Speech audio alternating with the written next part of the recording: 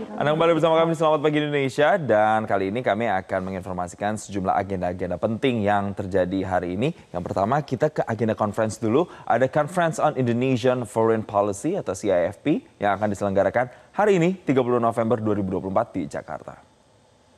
Acara ini bertujuan untuk membahas berbagai prioritas dan juga inisiatif kebijakan luar negeri pemerintah Indonesia yang baru. Konferensi diplomasi tahunan ini akan mempertemukan pemangku kebijakan luar negeri dari seluruh Indonesia dan mancanegara.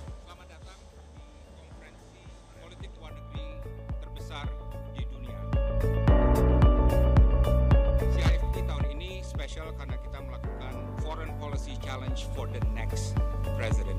Tujuan kita sangat simpel. Kita ingin mendalami apa cara pandang capres terhadap Jelajahi cara baru mendapatkan informasi. Download Metro TV Extend sekarang.